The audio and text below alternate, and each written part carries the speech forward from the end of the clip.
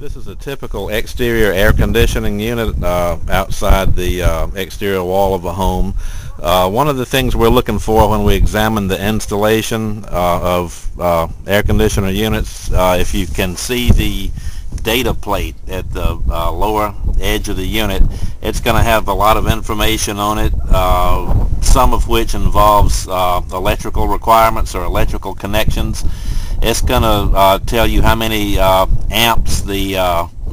the unit draws which is going to tell us the minimum uh, wire gauge that's required to connect it. Also it's going to give us the maximum acceptable circuit breaker that you want to connect to it so that you don't overheat the wiring or have a problem.